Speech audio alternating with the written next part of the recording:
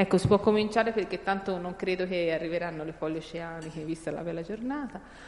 Allora, mh, mm, è tanto tempo che con Dario eh, volevamo organizzare qualcosa per i giornalisti mh, mm, del territorio, naturalmente, visto che siete quasi tutti di Prato, ehm, per, quanto, per, per, insegnare diciamo, a usare eh, e a interpretare i dati che poi il registro imprese mette a disposizione, che sono, se, che sono tanti e che eh, possono essere utilizzati nelle maniere più diverse. Io lavoro con Dario da tanti anni, lui mi ha insegnato tante cose. Fra le cose che mi ha insegnato è che si danno solo dati verificati di cui siamo sicuri, non si danno mh, mm, eh, proiezioni, indiscrezioni o cose varie come fanno in tanti. Tante volte quando gli chiedo un dato strano che magari mi chiede qualche giornalista, lui mi dice non te lo do perché non ci sono numeri che li posso verificare. Io lo ringrazio per essere sempre così rigoroso perché eh, effettivamente è giusto che sia così e mi ha insegnato tante cose e stasera ci insegnerà altre cose. per chi non lo conosce, uno l'ho detto all'inizio, è il nostro responsabile dell'ufficio studi e quindi eccoci la parola alle 20 alle 6 di, di un sabato sera. Allora, buonasera a tutti. Io in realtà non, non avrei molto la pretesa di insegnare niente. Eh, volevo soltanto eh, cogliere questa occasione eh, per potervi far vedere un pochino cosa c'è dietro alle cose che periodicamente presentiamo. Alcuni di voi li conosco, partecipano alle, alle conferenze stampa che organizziamo. E, mi sembra anche una, una, bella iniziativa quella di poter veramente eh, farvi vedere eh, tutto il lavoro che c'è dietro a, a, a, quello di cui voi vedete poi la fine. Oh, ci ho pensato un po' io a questo intervento mh, mm, e ho pensato sostanzialmente di mh, mm, articolarlo in due momenti distinti. Eh, in un primo momento vi volevo proprio presentare la banca dati, l'architettura della banca dati eh, sulle imprese gestita dal sistema camerale italiano, eh, non perché voi eh, imparaste ad utilizzarla, visto e considerato che l'accesso è riservato alle Camere di Commercio, ma per poter avere un'idea di quelle che sono le informazioni di cui il sistema camerale italiano dispone di come queste informazioni sono eh, gestite, articolate e organizzate. Eh, nella seconda parte invece eh, vi ho preparato qualche elaborazione eh, per farvi vedere un pochino che differenza c'è eh, nel presentare lo stesso dato in modo diverso oppure eh, come si può offri- offrire una lettura più o meno completa e articolata eh, partendo esattamente dallo stesso tipo di informazioni. Allora, mi riesce a far partire il mouse?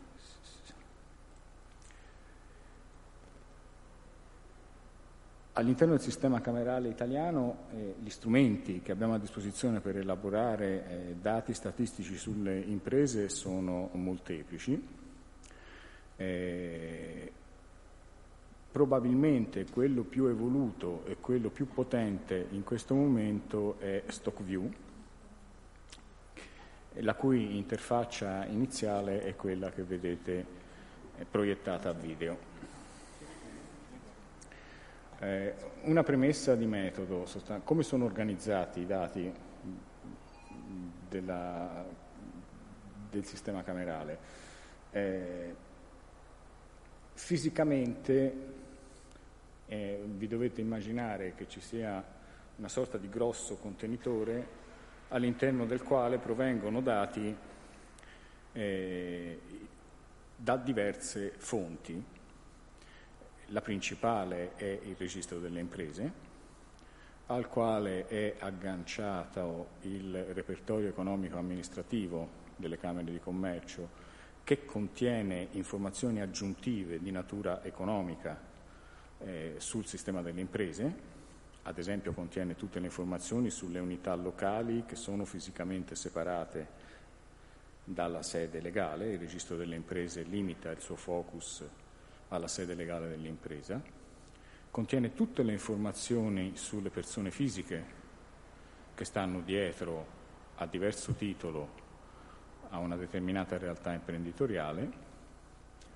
E, e quindi primo, la prima architettura fondamentale che abbiamo eh, di come sono organizzati i dati è proprio da una parte le informazioni di natura economica e amministrativa sulle imprese e da quell'altra le informazioni di natura economica e amministrativa sulle persone fisiche che all'interno di queste imprese detengono delle eh, cariche sociali, amministrativo, amministratore, socio, titolare, socio di capitale e via discorrendo.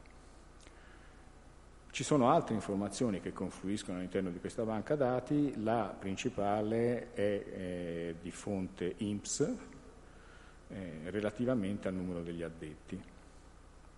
Periodicamente, eh, da un annetto e mezzo a questa parte, ogni tre mesi, i dati del registro delle imprese vengono incrociati fisicamente con quelli dell'INPS in modo da offrire una fotografia della eh, situazione occupazionale. E qui mi correggo subito.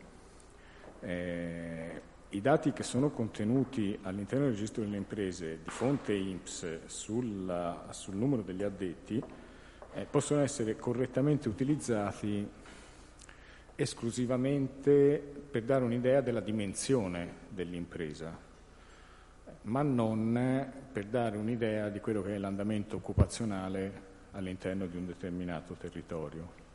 Questo perché l'aggancio viene fatto a livello di codice fiscale e quindi tutti i dati relativi alla situazione occupazionale di una determinata azienda sono attribuiti per convenzione alla sede legale. Fare un esempio banale, tutti gli addetti all'S Lunga stanno a Milano, ecco, giusto per essere chiari. Allora, adesso io vi faccio vedere come funziona questa banca dati.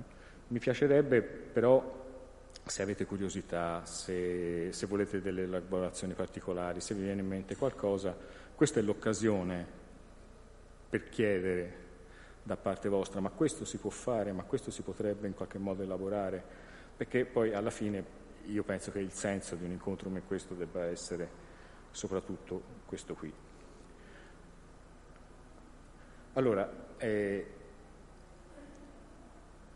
questa parte qui che voi vedete sulla sinistra del, del monitor eh, sono tutti sottocontenitori della banca dati generale che consentono ognuno con un, un, un'architettura, un sistema diverso di poter fare delle elaborazioni particolari. Non è mia intenzione presentarveli tutti uno per uno, perché sennò eh, non, probabilmente domani sera saremo ancora qui, vi presento i principali, eh, però eh, già per come sono eh, gestite e articolate in questo menu di navigazione si dovrebbe eh, vedere che ci sono un set di informazioni che sono strettamente legate alla sede dell'impresa, quindi a quella che è l'impresa nel suo complesso, un set di informazioni che sono eh, legata invece all'impresa intesa in senso ampio, quindi con tutte le sue unità produttive, e delle, eh, dei sottoinsieme che invece sono focalizzati sulle persone fisiche, come vi dicevo prima. E ovviamente avere informazioni sulle persone fisiche eh, di tipo anagrafico, quindi sostanzialmente dove sono nati, quanti anni hanno, dove risiedono, che tipo di carica svolgono, c'è il sesso e così via, consente in qualche modo di elaborare dei sottoinsiemi di imprese che, ha, che presentano determinate caratteristiche soggettive dal punto di vista dei detentori carica che all'interno di questa impresa hanno, eh, appunto svolgono una carica. Ne prendo uno a caso. Allora, All'avvio della schermata sostanzialmente mi si dà la possibilità di scegliere il periodo di riferimento dell'archivio. Un'altra cosa che non vi ho detto è che questa banca dati qui consente di fare elaborazioni riferite a un intervallo temporale più o meno lungo a seconda del periodo di rilascio eh, dell'archivio. Quindi non è un'interrogazione del sistema eh, delle camere, de, informative delle Camere di Commercio puntuale sul momento, ma è l'archivio completo storico. Ora, la, la 6 di più, che è quella più evoluta e quella più recente, parte dal 2011, ma ce ne sono altre che partono sostanzialmente dalla fine degli anni 90.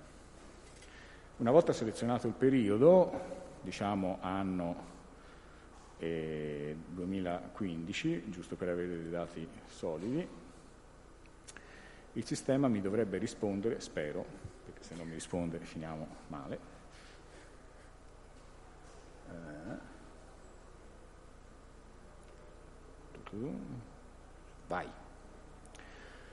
Allora si apre questa tabella per ora molto elementare in cui compaiono a livello nazionale l'insieme completo delle imprese registrate, quindi la prima informazione che abbiamo a disposizione è che al 31 dicembre 2015 le imprese ufficialmente registrate in Italia erano 6.057.647 e dei flussi di iscrizione e cessazione che sono riferiti all'anno tutto quello che si vede da questa parte, che è la parte succosa, sono le varie variabili che possono essere impostate per poter in qualche modo elaborare delle tabelle a livello più dettagliato. Ciascuna di queste variabili può essere impostata come variabile di riga, come variabile di colonna oppure come filtro a monte. Quindi è possibile arrivare ad un livello di dettaglio molto molto approfondito. Ad esempio, potrei eh, inserire una variabile analitica che è poi quella che conta di più, relativa alle imprese attive, per cui immediatamente il sistema mi dice sì, le registrate erano 6 milioni e rotti e di questi 6 milioni 5 milioni e 144 mila erano le imprese attive. Ci chiarisce per tutte? Eh? Sì. Per tutte tra attive e registrate. Esatto.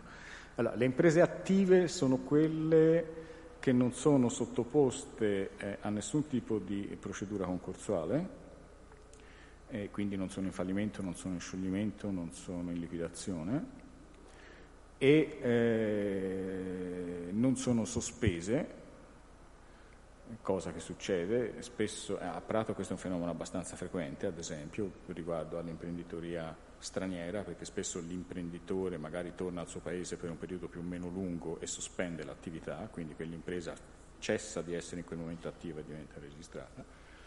E tutte le imprese che nascono amministrativamente, nel caso delle società, è un caso molto frequente, quindi la società si iscrive al registro delle imprese, ma non è detto che attivi immediatamente la propria attività.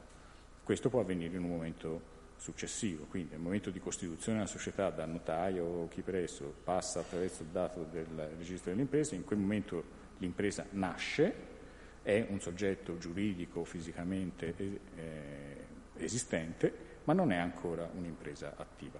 L'attivazione concreta dell'attività avviene quasi sempre in un momento successivo attraverso una denuncia agli uffici della Camera di Commercio, che sono proprio quelle ai fini REA di cui vi parlavo prima.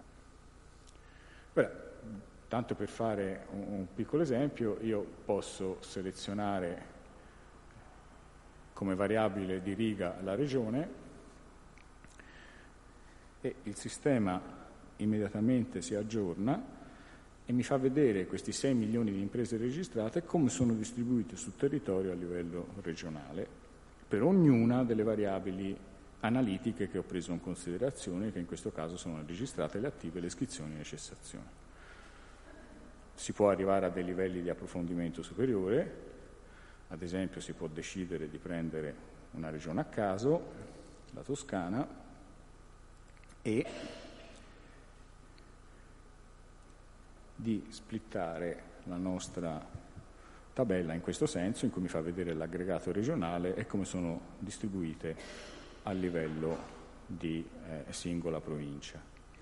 In automatico il sistema praticamente mi ha aggiunto un filtro, che è appunto quello sulla regione, che io posso eliminare e ritorno a una situazione in cui ho tutta l'Italia divisa provincia per provincia, ma posso anche semplicemente rimuovere dal report le province e ritornare alla situazione iniziale. Posso mettere più variabili per riga, ad esempio posso, prendiamone una semplice, la classe di natura giuridica, e con questo sistema, regione per regione, il sistema mi dà la distribuzione per classe giuridica delle, delle imprese. E posso ovviamente mettere delle eh, variabili anche per colonna, ad esempio carina è questa, in cui mi divide l'universo delle imprese a seconda di una variabile in più che è impresa giovanile o meno. La banca dati funziona così, è quindi estremamente potente, rapida, consente di fare delle elaborazioni abbastanza approfondite. Eh, ci sono delle, eh, delle, cosine che in qualche modo è bene eh, chiarire, ad esempio che cosa intendiamo per impresa giovanile. Eh, anche qui si basa su un insieme di convenzioni. Il, per ottenere una tabella di questo genere significa che a monte i dati sono stati incrociati con l'archivio relativo alle persone fisiche, eh, sono, eh, sono stati presi in considerazione nell'archivio persone fisiche la classe d'età del soggetto che detiene una carica e in base a una serie di convenzioni è stato deciso che cosa si intende per impresa giovanile o meno. E diciamo che la soglia è eh, 35 anni di età, è possibile però fare una stratificazione ulteriore, cioè si può in qualche modo eh, cercare di analizzare le imprese giovanili per grado di presenza di soggetti con quella caratteristica, cioè di età pari o inferiore a 35 anni. E, e questo avviene attraverso un algoritmo in cui sostanzialmente si vanno a ponderare sia il, di, eh, sia il tipo di carica detenuto e i soggetti che detengono quel tipo di carica, sia per le società la partecipazione al capitale. Per essere meno ehm, per essere meno eh, criptico. È un po' lento però, come mai? Questo Infocamere non risponde. Ai. Vabbè, insomma, tanto.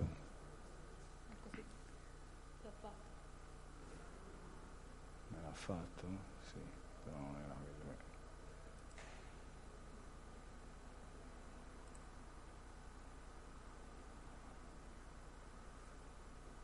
Ok.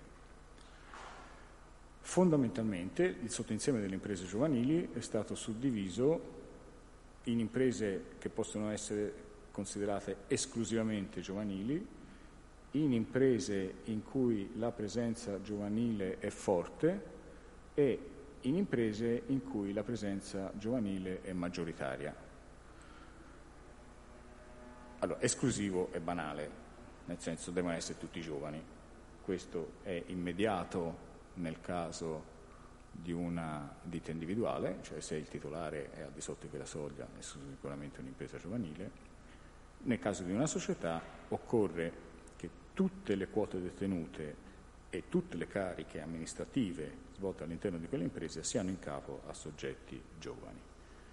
Forte non ve la sto a fare sofisticata, è un po' più complicata, ma insomma sostanzialmente occorre che questa quota di partecipazione dei giovani sia superiore al 60%, sia in termini di cariche detenute che in, car- in termini di eh, quote di capitale. Ovviamente forte e maggioritaria si applicano esclusivamente alle società e non più alle ditte individuali. Maggioritario occorre che questa partecipazione sia superiore al 50%. Questo tipo di analisi può essere condotta per eh, diverse caratteristiche soggettive. Il sistema eh, ne predispone tre, fondamentalmente, che sono quello relativo all'imprenditoria giovanile che vi ho presentato, quello relativo all'imprenditoria femminile, e quindi è possibile elaborare esattamente lo stesso tipo di tabella che vi ho presentato in questa sede, prendendo come variabile non il fatto che l'impresa sia giovanile, ma sia a conduzione femminile eh, o a livello di impresa straniera, eh, laddove però anche lì c'è un criterio in cui sostanzialmente si prende il soggetto eh, che svolge attività all'interno dell'impresa, si guarda se è nato all'estero o meno e eh, si stratifica secondo le variabili esclusivo, maggioritario o forte che vi ho fatto vedere.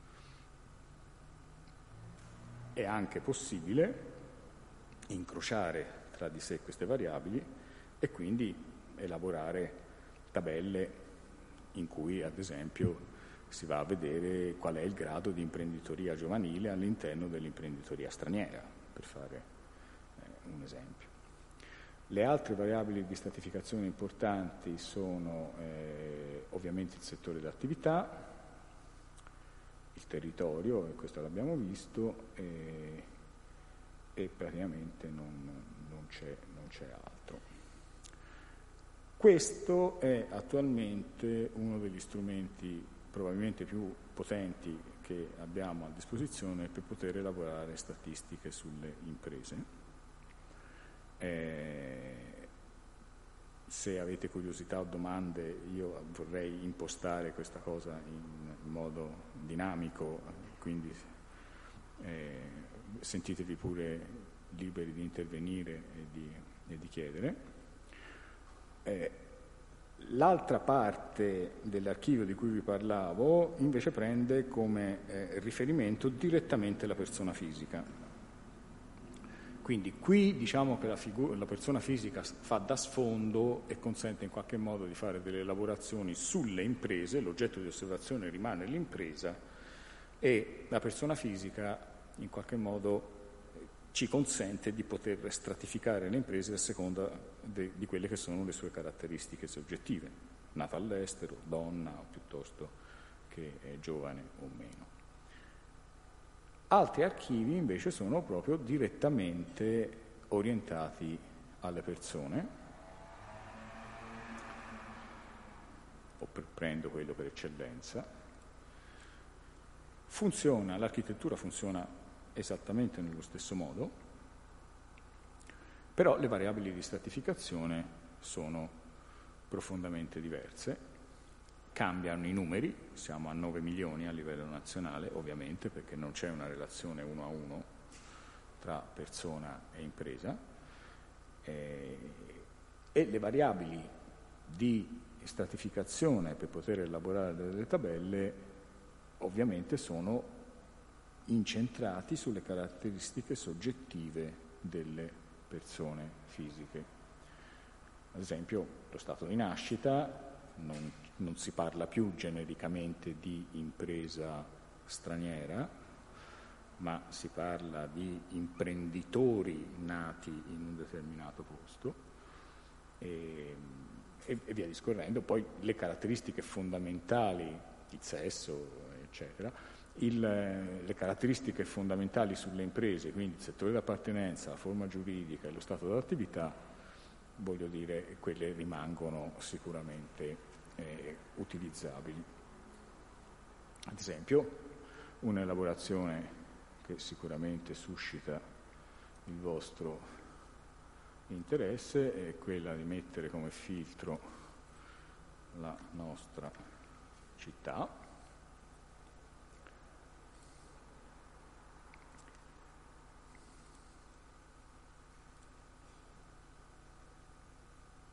Non è che proprio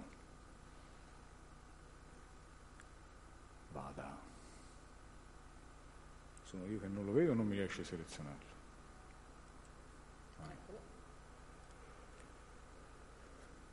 Queste sono le persone registrate a Prato, mettiamoci anche le attive.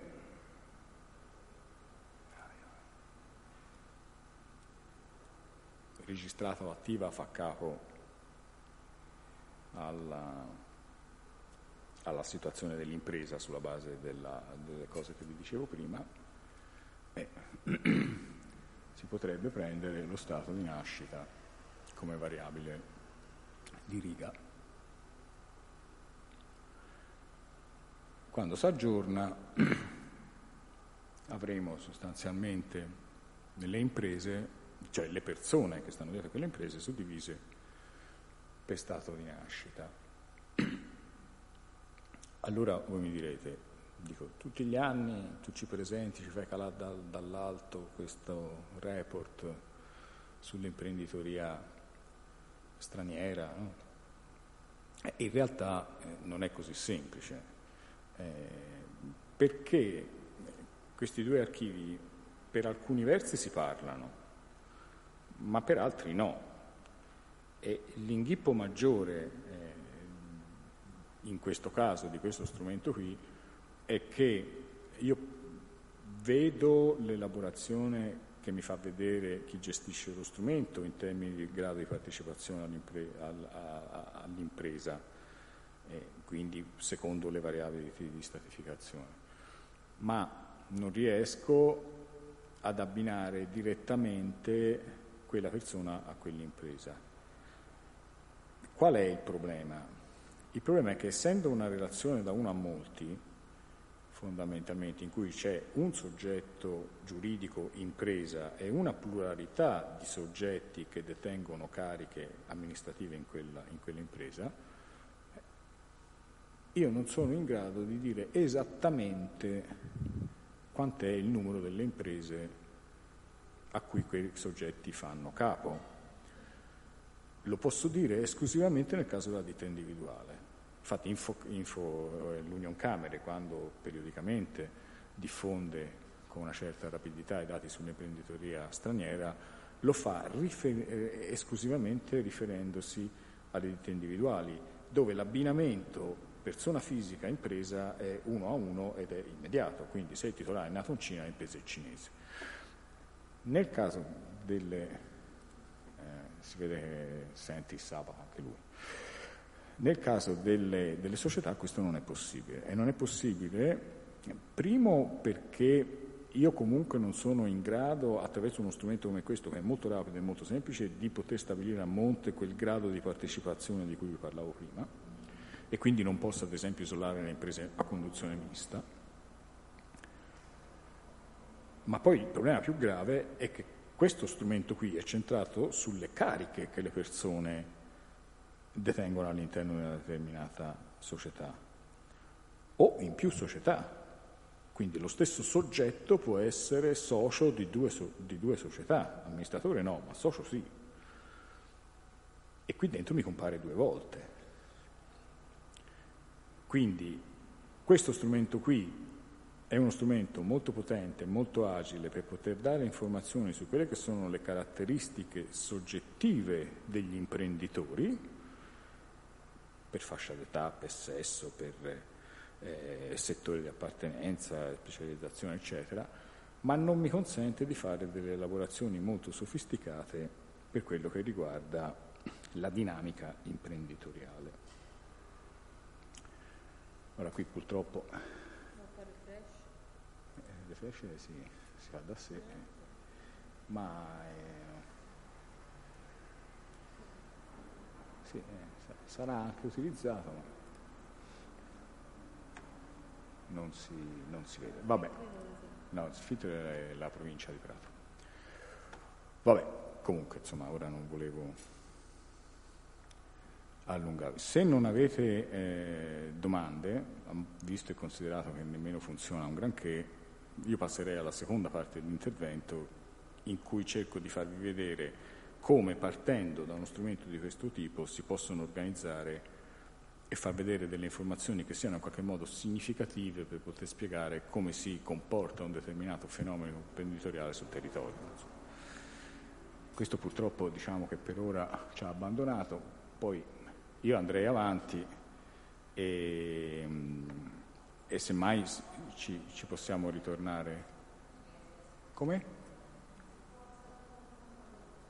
Il volume? Perché no, eh, dovrei, dovrei avvicinare il microfono. Scusate. Ok. Allora,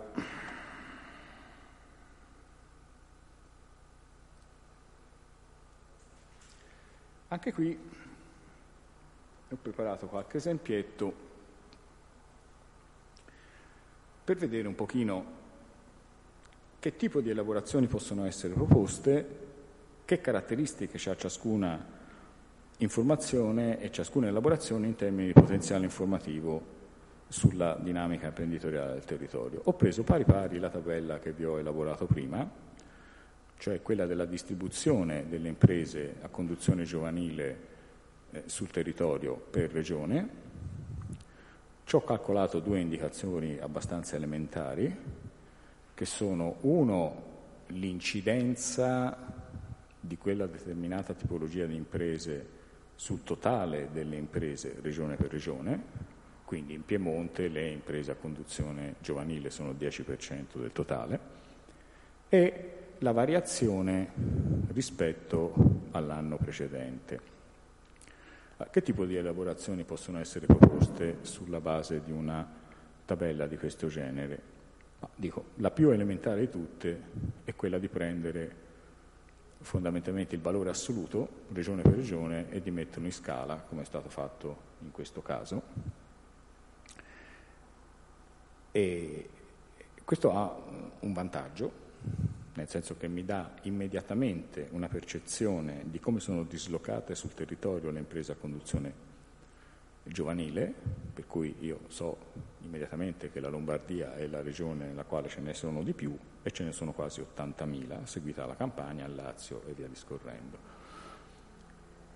Il limite di una fotografia di questo genere è che non mi dice niente su quello che è il peso specifico di quel determinato fenomeno in quella determinata area.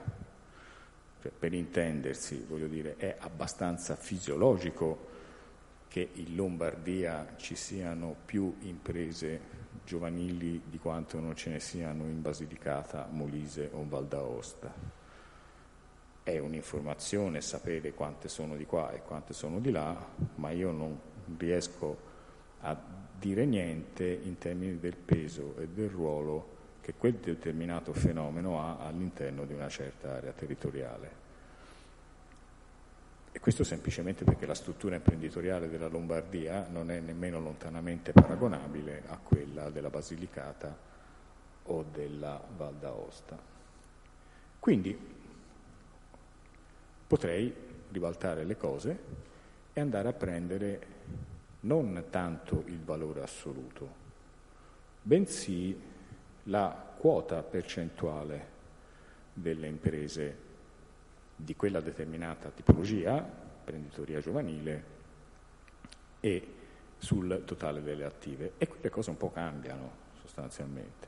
I più attenti di voi si saranno resi conto che, guarda caso, Molise, Basilicata e Val d'Aosta stanno tutte davanti alla Lombardia. Quindi è vero che quel fenomeno è più presente per una questione di massa e di volumi in Lombardia, ma è vero anche che in termini di importanza per l'economia generale di quel eh, determinato territorio questo fenomeno pesa di più in Basilicata, eh, Val d'Aosta e via discorrendo. Di solito un'elaborazione di questo genere consente di poter prendere un riferimento territoriale più ampio, in questo caso l'Italia, e suddividere la distribuzione tra le imprese che hanno, tra le regioni che stanno sopra la media nazionale e le regioni che stanno sotto. Oh, un'elaborazione di questo tipo, io ho preso l'imprenditoria giovanile, la potevo fare per ognuna di quelle variabili che vi ho fatto vedere prima. La posso fare per le imprese femminili, la posso fare per le imprese straniere, posso prendere a riferimento un settore, quindi elaborare una statistica in cui l'oggetto, la variabile di osservazione non è l'impresa giovanile o meno, ma che ne so, le imprese eh, nelle costruzioni piuttosto che nel manifatturiero, oppure ancora le imprese giovanili nel manifatturiero e nelle costruzioni. Quindi io vi spiego il metodo e vi illustro come sostanzialmente possono essere trattati i dati. Le variabili di stratificazione e le soluzioni di incroci possibili sono, offrono diciamo, un ventaglio abbastanza ampio, c'è da, c'è da sbizzarrirsi abbastanza. Un modo alternativo per poter rappresentare i dati partendo sempre dallo stesso tipo di informazione è quello di metterli su un cartogramma, come è stato fatto in questo caso. Vantaggi e svantaggi. Beh, il vantaggio è che immediatamente è possibile avere un'idea abbastanza rapida di quello che è il peso relativo del fenomeno oggetto di osservazione, di come questo fenomeno si distribuisce sul territorio. Lo svantaggio è che richiede un'elaborazione ulteriore più delle volte e qui infatti non viene riportato il valore assoluto, come nel caso precedente, dell'incidenza percentuale delle imprese con quelle determinate caratteristiche sul totale, ma questa variabile deve essere in qualche modo raggruppata in classi e questa è una questione di economicità, di, di, semplicità di rappresentazione. Cioè se io utilizzassi dati puntuali dovrei avere 20 gradazioni diverse, per intendersi, oppure utilizzare colori diversi, ma facendo così perderei il potenziale informativo immediato che invece una elaborazione di questo tipo mi dà, nel quale si vede con estrema rapidità sostanzialmente che la concentrazione in, in termini di peso dell'imprenditoria giovanile è mediamente superiore al sud, per quanto riguarda il nord è relativamente maggiore nella parte ovest, mentre il nord-est è l'area dove questo fenomeno probabilmente ha un peso relativamente inferiore. Oh, fino qui noi abbiamo preso in considerazione una variabile, cioè abbiamo considerato il fenomeno dell'imprenditoria giovanile e abbiamo visto sostanzialmente come si distribuisce eh, in termini di peso o in termini assoluti di quel determinato tipo di fenomeno in una determinata area territoriale. La variabile è una però, quante sono o qual è il tuo peso specifico. Si possono proporre anche elaborazioni un po' più sofisticate in cui io prendo a riferimento non una variabile sola ma due, si pone il problema fondamentalmente di trovare un sistema efficiente per poterle rappresentare graficamente. E nella tabella che io vi ho elaborato, eh, oltre al numero assoluto e alla, alla, alla, all'incidenza percentuale sul totale delle attive, ci avevo messo anche la variazione rispetto all'anno precedente del fenomeno. Allora, una elaborazione anche in questo caso abbastanza elementare è quella comunque di prendere questo dato e di rapportarlo singolarmente, ma qui siamo sempre sul livello di una variabile. Quindi questa elaborazione qui trascura completamente l'aspetto della scala e della dimensione e mi fa vedere qual è stata nell'anno 2015 la variazione percentuale delle attive, delle imprese attive, eh, regione per regione. Eh, è un'informazione, probabilmente è un'informazione eh, di solito giornalisticamente molto, molto utilizzata. Qual è il limite di questo tipo di informazione? Che prescinde dalla scala. Cosa vuol dire? Vuol dire che, ad esempio, guardandola, cioè, è vero che il Molise ha avuto una contrazione delle imprese a conduzione giovanile del 5%, che è tanto, è quella peggio sostanzialmente nell'anno in corso, però data la dimensione del Molise rispetto alla Campania o rispetto alla Lombardia, eh, quella contrazione in realtà è in termini assoluti molto minore di quanto non lo sia stata in Campania, dove la base è molto più ampia. E allora come si fa fondamentalmente a cercare una rappresentazione nella quale io cerco di tener conto di entrambe queste informazioni?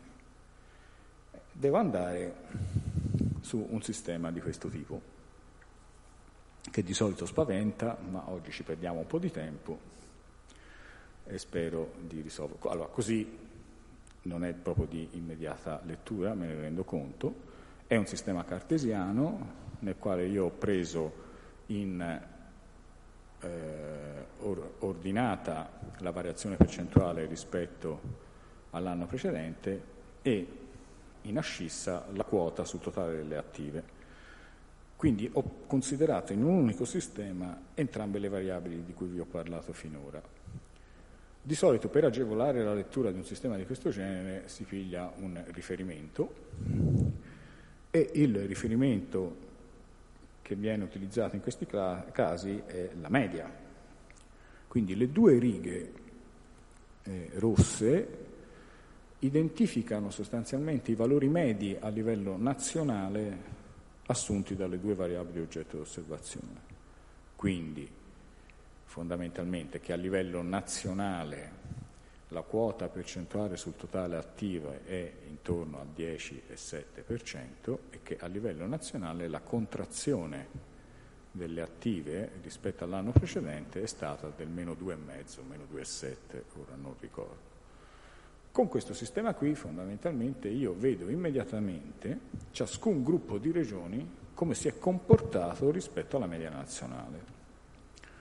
Allora, solitamente, eh, ma non è sempre così, e dopo vi farò un esempio in cui faccio vedere che non è così, solitamente comunque si identifica eh, l'area che sta in questo quadrante qui come la peggio, cioè quella per la quale fondamentalmente la singola regione, in questo caso l'Emilia Romagna, le Marche, il Piemonte, il Veneto, hanno valori per entrambe le variabili che sono peggiori rispetto a quanto non sia il valore medio a livello nazionale. Al contrario, le regioni che si collocano nel quadrante a nord-est presentano per entrambe le variabili oggetto di osservazione valori migliori rispetto alla media nazionale e quindi si dice in generale che è il quadrante tra virgolette, migliore. I due quadranti che invece stanno nella diagonale che va da sinistra verso destra e dall'alto verso, verso il basso sono evidentemente una situazione intermedia. Quindi la Toscana, in un esempio di questo genere, si colloca, diciamo, come contrazione rispetto eh, contrazione rispetto all'anno precedente meno intensa di quanto non sia stata a livello nazionale. Tenete conto che il fenomeno è stato negativo praticamente in tutte le regioni, escluso nel Trentino Alto Adige, per cui lo zero non sta nel mezzo ma sta qua su. Quindi, e, e questo si vede anche dal grafico precedente, cioè che la contrazione è stata generalmente negativa, e, e eh, si colloca in una posizione per la quale però la quota, l'incidenza e la partecipazione eh, dell'imprenditoria giovanile rispetto alla media nazionale è relativamente più bassa. Domande? Curiosità?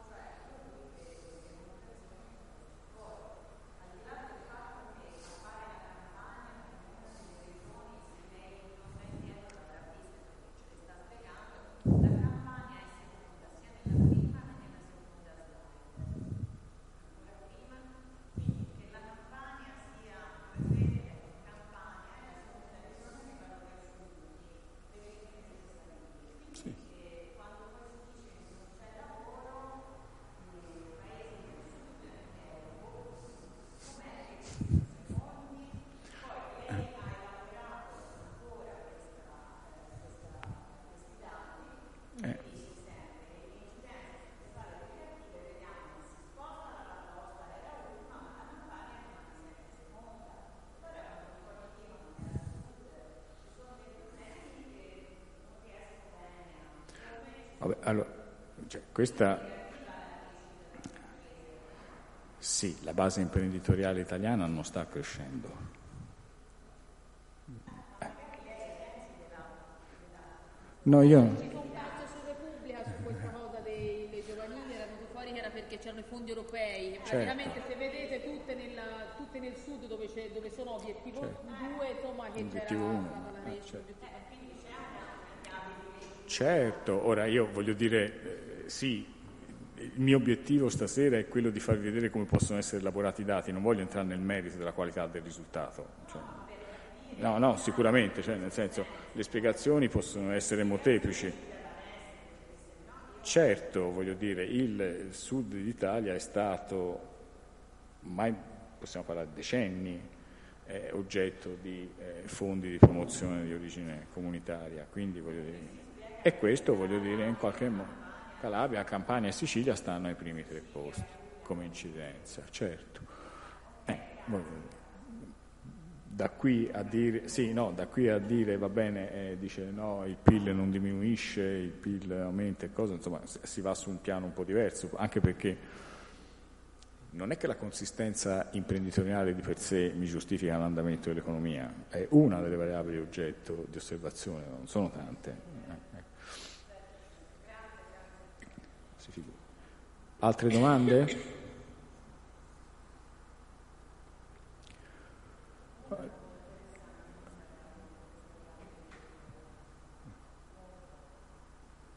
Su, sì, sì.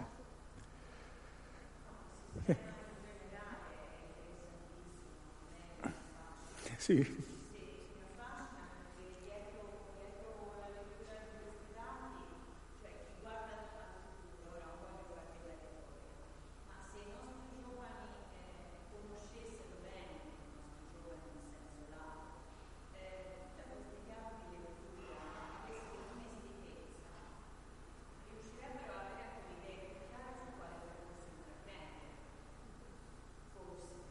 Beh sì, io un, un'elaborazione, infatti qui l'ho proposta, eh, ed è l'ultima slide, un'elaborazione di questo genere assume una, un significato particolare se io prendo ad esempio come riferimento il settore. Se io riesco a distinguere, cioè invece che far vedere, ve la faccio vedere perché è l'ultima slide, ma fondamentalmente se invece di prendere come oggetto la consistenza assoluta io prendo i settori e li metto in un sistema di questo genere, io riesco a vedere immediatamente quali sono i settori in crescita e quelli no potrebbe essere un'informazione di una qualche rilevanza, diciamo, per chi decide di. Comunque, allora, se non ci sono domande, andiamo avanti. Eh, vi propongo altri tipi di elaborazione.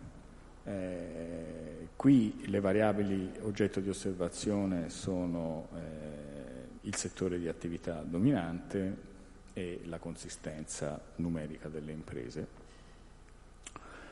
Eh, ho, preso, ho, preso, Prato perché ce l'avevo pronti, ma ovviamente lo potevo fare prendendo come riferimento qualsiasi tipo di eh, dimensione territoriale. E quindi voglio dire se poi nel, nel vostro lavoro un domani foste interessati a sapere com'è la struttura imprenditoriale di Crotone piuttosto che di Biella, la Camera di Commercio, qualsiasi Camera di Commercio in Italia è in grado di darvi una risposta tempestiva. Allora, questa è la fotografia della struttura imprenditoriale pratese alla fine dell'anno scorso, le imprese attive 28.975, tasso di crescita 0%. E sono dati che conoscete, quindi è inutile. Come li posso rappresentare? Cioè che tipo di, perché l'oggetto del mio intervento vuole essere soprattutto questo, che tipo di strumenti posso utilizzare per poter fornire una fotografia del territorio che sia più precisa e puntuale possibile. Partiamo dal semplice. Un primo elemento può essere quello semplicemente di prendere la distribuzione e di suddividerla per settore, facendo vedere un po' qual è il peso relativo dei singoli settori all'interno di una determinata economia. Questa è puntuale, anno 2015, si può offrire fotografie di questo genere magari mettendo in confronto due torte, una riferita alla realtà economica di interesse e una un aggregato un po' più grande, tipo, che ne so, la regione piuttosto che l'Italia, si possono utilizzare strumenti diversi, ma insomma comunque la filosofia è la stessa. Un primo impatto, una prima immagine, voglio dire, io in quel momento voglio offrire una fotografia di quello che è la, la dimensione in termini relativi e il peso di ciascun settore all'interno di una determinata economia e lo strumento per antonomasia è quello relativo alla composizione percentuale. Posso prendere a esempio l'altra variabile che vi ho fatto vedere prima, cioè quella, eh, da una parte avevo la consistenza delle attive e da quell'altra ho la variazione percentuale, magari metterla a confronto con quello che era successo l'anno prima, come in questo caso, e far vedere un pochino come si sta evolvendo diciamo, la situazione economica, diciamo la, la, la, come si sta evolvendo la struttura della base imprenditoriale, non la situazione economica. E, e già questo a me un, una qualche informazione comincia a darmela, cioè in un contesto generale dove la crescita è nulla, per non dire negativa, che è quella riportata diciamo in fondo al totale, ci sono comunque dei settori che vanno un po' meglio dei settori che vanno un po' peggio, dei settori che nell'anno 2015 sono andati un po' meglio rispetto all'anno prima o un po' meno peggio rispetto all'anno prima. Quindi è, può sembrare complicato, però alla fine una elaborazione di questo genere già contiene in sé numerose informazioni. Ad esempio, tessile, voglio dire, è strutturalmente un settore in decrescita, e sembrerebbe che la situazione sia addirittura peggiorata nel 2015 rispetto al 2014. Anche i trasporti sono strutturalmente in flessione, però nel 2015 questa flessione è stata più contenuta rispetto all'anno precedente. Stessa cosa dicasi per le attività immobiliari, mentre ci sono dei settori in cui voglio dire il passo di crescita sembrerebbe in qualche modo rafforzarsi, come nel caso dell'alloggio e della ristorazione. Quindi questa è una fotografia che ha un certo potenziale informativo, eh, però resta una fotografia, cioè mi fotografa una situazione in due momenti precisi, distinti, la fine dell'anno, la fine dell'anno 2014, quanto è stata la variazione rispetto all'anno precedente, e la fine del 2015, quanto è stata la variazione rispetto all'anno precedente. Se uno vuole avere un'idea un po' più dinamica, può utilizzare uno strumento di questo tipo qui, che è molto più puntuale, eh, in cui l'elaborazione viene condotta non prendendo a riferimento la variazione percentuale di un anno rispetto all'anno prima o di un trimestre rispetto al trimestre precedente o rispetto allo stesso trimestre dell'anno precedente. Ma prendendo un anno come riferimento, rapportare la consistenza imprenditoriale a quell'anno, in questo caso il 2008, dire fondamentalmente, fatto 100 il 2008, come si sta evolvendo la eh, struttura imprenditoriale sul territorio? Qual è il vantaggio di un'elaborazione di questo genere? Il vantaggio di un'elaborazione di questo genere è che rapportando tutti i singoli settori, tutti i settori a 100, sostanzialmente io perdo il problema di scala. Cioè se io prendessi la variazione assoluta e volessi far vedere questo grafico prendendo i dati puntuali, avrei dei problemi grossi di scala, semplicemente perché un settore può essere molto più consistente di un altro. L'informazione qui è abbastanza immediata, facilmente leggibile, abbiamo un settore che cresce strutturalmente e da tempo, che è quello relativo alle attività commerciali e soprattutto alle attività legate al turismo e alla ristorazione, è un settore che strutturalmente da un decennio a questa parte, perché potrei allungare, è in flessione continua, che è quello delle costruzioni. E poi ci sono dei settori che invece sono un po' più vicini all'andamento della media. E su questo però occorre fare una precisazione tecnica e qui si entra un po' più nel difficile. Allora, strumenti di questo genere hanno un potenziale informativo abbastanza forte, hanno un limite legato al fatto che io non posso fare 50 righe, giusto per essere esplicito, perché sennò non si capisce più niente, quindi in qualche modo devo scegliere un criterio per raggruppare settorialmente le imprese, ma questi settori hanno dimensioni tra di loro profondamente diverse. Quindi io riesco in qualche modo a ovviare al problema della scala utilizzando un numero indice, come in questo caso. Quindi io dico, se quell'anno sono tutte 100, faccio finta che siano tutte 100, poi sostanzialmente come si evolve nel tempo il territorio, quindi partono più o meno tutte dallo stesso punto e mi fa vedere come, come si evolve il fenomeno. Il problema qual è? Il problema è che utilizzando strumenti di questo genere il confronto con l'andamento totale è debole, perché l'andamento totale risente in modo determinante dei settori più grossi. Cioè, nella slide che vi ho fatto vedere prima, questa, manifatturiero e servizi sono oltre il 50% delle imprese. Vuol dire che il comportamento di manifatturiero e servizi sulle dinamiche evolutive totali della struttura imprenditoriale incide per più del 50%, incide molto di più di quanto non incida l'alloggio della ristorazione o il commercio ed, o le costruzioni.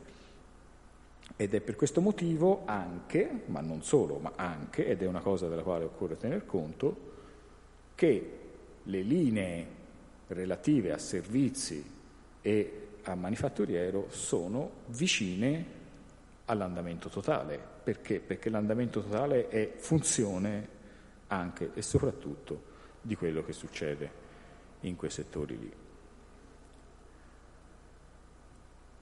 Oh. Ora si va sul difficile. Eh?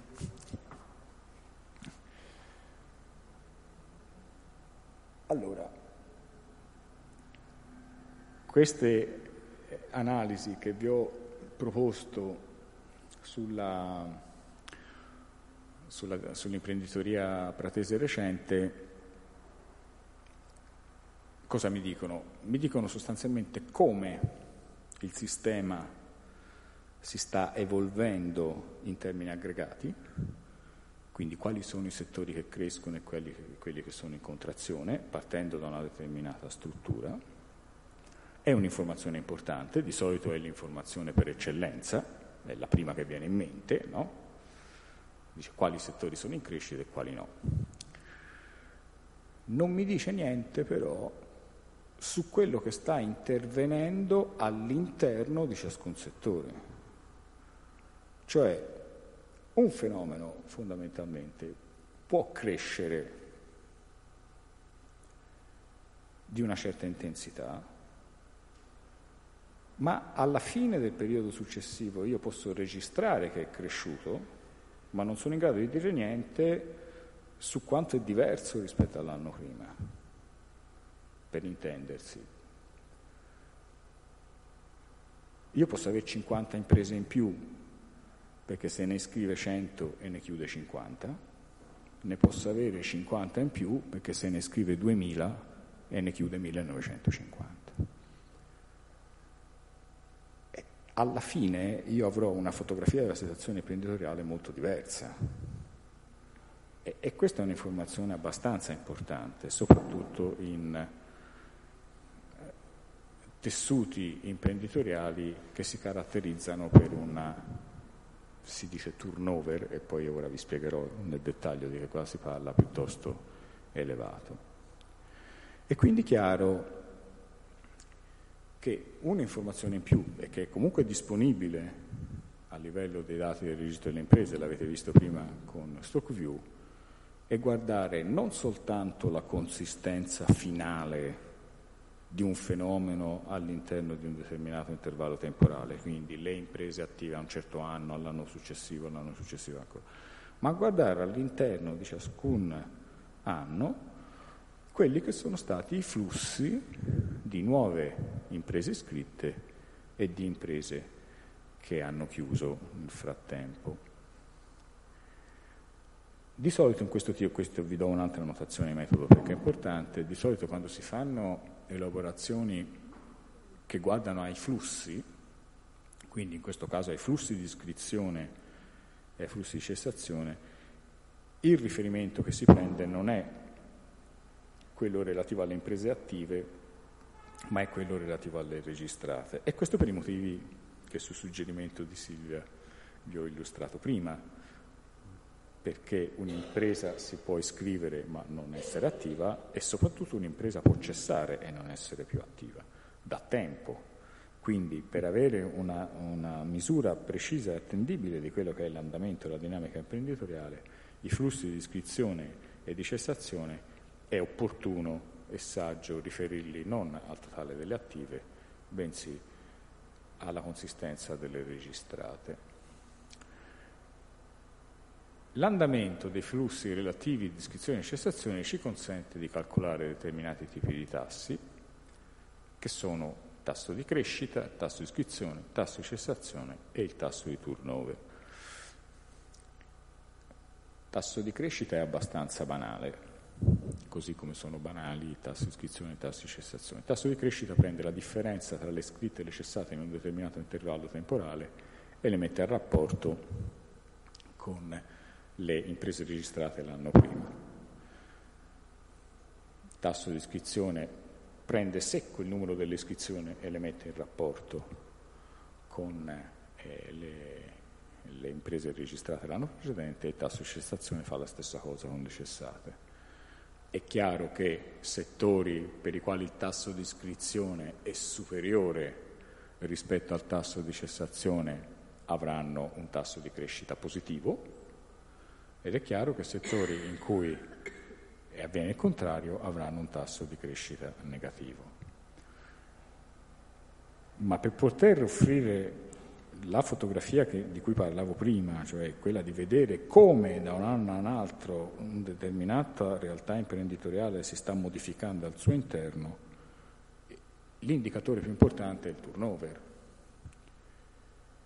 E siccome mi è capitato in passato di, in occasione delle occasioni di incontro dover perdere, io mi sono inventato un sistemino grafico, vediamo se poi me lo dite voi, eh, se sono stato abbastanza esauriente. Allora, prendiamo le registrate all'anno 2014. È una fotografia della ci potevo mettere proprio fisicamente una fotografia, ora non ho avuto tempo, ci ho messo un quadrato celeste, ma insomma fondamentalmente immaginatevi questo quadrato rappresenti la consistenza delle imprese registrate alla fine del 2014. Scorre il 2015 e che cosa succede? Succede che nell'arco del 2014 ci sarà una parte di imprese che chiude, le cessate, e una parte di imprese che si aggiunge, che sono le iscritte. Alla fine dell'anno io avrò una fotografia di questo tipo. In che cosa si differisce questa fotografia rispetto alla fotografia dell'anno prima? Non ci sono più le cessate e si sono aggiunte le iscritte. È banale, ma voglio dire, la dimensione del turnover dipende da quanto è rimasto uguale, cioè da quella che è l'entità dell'area che è rimasta celeste. Eh, quindi diciamo che il turnover è una misura del tasso di ricambio interno al tessuto imprenditoriale, la cui entità dipende in modo determinante da quella che è la dimensione dei flussi di iscrizione e di cessazione in un determinato anno in rapporto a quella che è la consistenza delle imprese registrate alla fine dell'anno prima. Per essere più, de- più precisi, se io prendo una situazione di questo tipo, io qui ho due realtà di turnover profondamente diverse. all'inizio ho esattamente la stessa struttura imprenditoriale, sono identiche. Alla fine dell'anno io avrò una situazione profondamente diversa. E la diversità è fatta dall'entità dei flussi. Quindi avrò un primo caso in cui ho un, un, turnover relativamente più elevato e un secondo caso in cui ho un turnover relativamente più basso e l'entità è data semplicemente dal fatto che l'area che è rimasta celeste è di più dove il turnover è basso. C'è, perché non sono mai troppo semplici le cose, c'è un altro aspetto però legato al fatto, è vero che il turnover è più elevato nel caso di sopra, ma è anche vero che nel caso di sopra le imprese sono cresciute di più. Quindi non è necessariamente, cioè i, i, i fenomeni sono strettamente connessi tra di loro. Comunque, sperando di essere stato abbastanza chiaro, la differenza, una misura della differenza complessiva tra le fotografie che possono essere scattate guardando ai flussi è data proprio dall'entità relativa dei flussi di iscrizione e di cessazione rispetto alle imprese registrate e quindi in formula fondamentalmente è questa qui. Io vado a sommare per calcolare il turnover le iscritte alle cessate e le metto in rapporto alle registrate.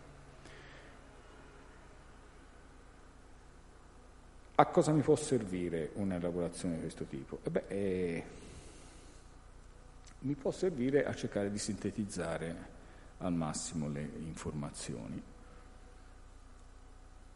in cui eh, prendo, come vi ho fatto vedere prima, a riferimento due variabili, quindi quanto un settore cresce e qual è il tasso di ricambio interno a quel determinato settore, ma siccome mi piace complicare ulteriormente le cose, ce n'ho messa anche una terza di variabile. E qual è la terza variabile? La terza variabile è la consistenza di quel determinato settore. Se vi ricordate il grafico precedente, ogni regione aveva lo stesso pallino, erano tutti uguali i pallini.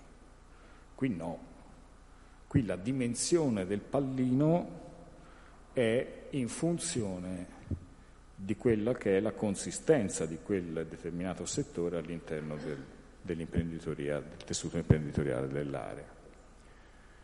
Anche qua, per poterli leggere in modo più agevole, è bene prendere a riferimento delle medie, e quindi si prende come riferimento sia la variazione media annua delle imprese, del totale delle imprese, sia il turnover medio annuo delle imprese. E, e che cosa mi dice? Da un'analisi di questo tipo si capisce in modo abbastanza immediato che i settori che vanno peggio sono trasporti, tessili e costruzioni, che sono settori la cui dinamica interna è molto modesta, si caratterizzano per un turnover che è significativamente più basso rispetto alla media, quindi c'è poco ricambio all'interno della base imprenditoriale e per di più si contraggono e si contraggono molto di più di quella che è la media generale. All'estremo opposto ho invece questi settori qua che si caratterizzano per una crescita relativamente sostenuta, soprattutto i servizi di alloggio e di ristorazione e le attività informatiche, e anche lì dentro il turnover è un turnover abbastanza moderato, perché non è detto che un turnover elevato sia necessariamente un bene anche perché, voglio dire, va a inficiare quella che è la stabilità del tessuto imprenditoriale in una determinata area, anche in termini di quelli che possono essere poi i rapporti che effettivamente si vengono a installare sul territorio. Voglio dire, cioè, tanto siamo a Prato e tutti sapete esattamente qual, quale può essere il problema. Il settore delle confezioni è un settore la cui crescita è diminuita molto negli ultimi anni. Qui ho preso a riferimento la variazione media annua dal 2011 al 2015. Non vi spiego come si calcola la variazione media annua, perché andrebbe un po' troppo sul, sul complicato, ma comunque fondamentalmente è un indice in cui mi, mi dice quanto è stato un tasso medio di variazione anno per anno in quell'intervallo temporale lì. È una media un po' più sofisticata della media aritmetica. Quindi ha un tasso di crescita che è sempre positivo, diciamo, ma molto ridotto rispetto ai tassi di crescita dell'imprenditoria cinese o straniera comunque, insomma, voglio dire, sperimentava eh, prima della crisi, però si caratterizza anche per un turnover che è significativamente elevata e data la dimensione della bolla, che non è trascurabile, è poi il dato che mi porta in alto il turnover complessivo della provincia. Infatti Prato ha un tasso di turnover relativamente più elevato rispetto ad altre aree del paese. Detto così. Io la presentazione l'avrei finita. Se avete domande, interventi, curiosità, soprattutto sulla parte relativa alla banca dati, secondo me, insomma, si può fare questo? Eh, sì, no.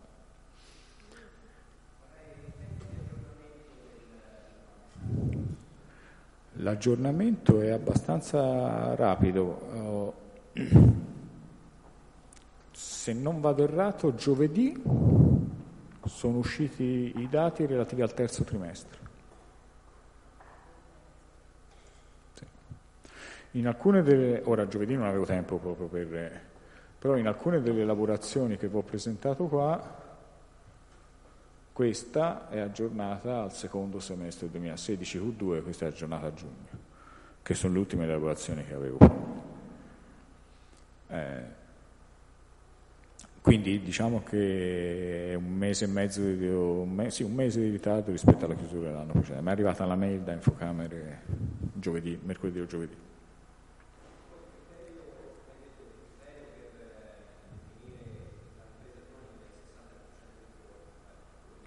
No, la, allora, il totale imprese giovanile è dato dalle imprese in cui la partecipazione giovanile è maggioritaria, quindi sopra il 50%. Poi il sistema però consente di poter fare una stratificazione ulteriore in cui mi dice sì, di queste voglio dire andiamo a vedere quelle che sono a esclusiva conduzione giovanile, in cui la presenza giovanile è forte, quindi superiore al 60%, oppure semplicemente maggioritaria. E questo criterio è esattamente lo stesso che viene utilizzato per identificare le imprese femminili e per identificare le imprese a conduzione straniera.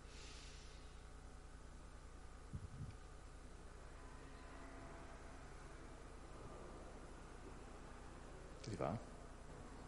Prima di salutarli dici solo un paio di avvertenze nel che sono tanti e non vorrei che poi si comincia tutto a dare numeri, cioè i dati vanno usati con cautela, che si deve fare, come si devono, pre- cioè, come si devono trattare. Nell'utilizzo appunto di tutti questi numeri. Allora, io diciamo che tendo un po' a verificarli il più delle volte. Eh, lo strumento che vi ho fatto vedere all'inizio, cioè quella banca dati, è uno strumento potente, simpatico, che mi consente di dare delle risposte abbastanza immediate ed è quello sulla base del quale poi più delle volte elaboro statistiche sulle quali diciamo, il margine di errore può essere modesto. Vi dico subito che per elaborare i dati sull'imprenditoria straniera io non utilizzo quella banca dati per i problemi che più o meno vi ho accennato in precedenza, cioè nel senso che non è possibile fare un abbinamento. Per poter fare quel tipo di elaborazione lì bisogna andare a livello di dato elementare, cioè prendere proprio la singola posizione, costruirsi un database, cosa che viene fatta, nella quale posizione per posizione si va a verificare sostanzialmente la coerenza del dato, almeno dal punto di vista eh, statistico e amministrativo e non è un'operazione eh, banale, eh, non lo è per niente. Ci sono eh, purtroppo dei problemi a livello strutturale dell'archivio che rendono necessario di andare a verificare puntualmente, molto spesso, se effettivamente quella determinata situazione è eh, diciamo, rispondente alla, alla realtà cosa vi devo dire, soprattutto riguarda l'imprenditoria straniera e, e sappiamo tutti che eh, la qualità del dato è, non è eccelsa, insomma, insomma, dire, eh, non è infrequente il caso in cui determinati tipi di posizione risultano attivi in Camera di Commercio, poi uno si presenta lì e non c'è più niente questo può succedere, d'altra parte voglio dire, l'aggiornamento degli archivi a livello di sistema avviene a, abbastanza di frequente, tutte le settimane, non nella banca dati che invece fornisce dati di tipo trimestrale, ma a livello, a livello di, di visura, quindi di dato elementare, la frequenza dell'aggiornamento è settimanale, però è chiaro che molto dipende dalla tempestività con cui l'imprenditore comunica le proprie decisioni alla, alla Camera di Commercio e quindi questo spesso può creare delle, delle distorsioni. Dal punto di vista del metodo, eh, io spero in questo mio intervento di avervi trasmesso questo messaggio, cioè il modo in cui un determinato dato viene presentato non è del tutto svincolato dal messaggio che uno fa passare. E, e, lì, secondo me, dipende molto dalla sensibilità e dall'onestà intellettuale di chi vi fornisce informazioni. Questo credo che sia la premessa più importante. No? Cioè, eh, una cosa è vedere i dati eh, in termini assoluti, una cosa è, è porli eh, in relazione a un determinato fenomeno. Cioè, la manipolazione sul dato può dare dei risultati molto potenti in termini di potenzialità esplicativa, eh, però voglio dire può anche surrettiziamente essere utilizzata per poter nascondere determinate cose, questo, senza dire una cosa per un'altra anche questo ragazzi però fa parte della vita, insomma. non so se vuoi aggiungere qualcosa.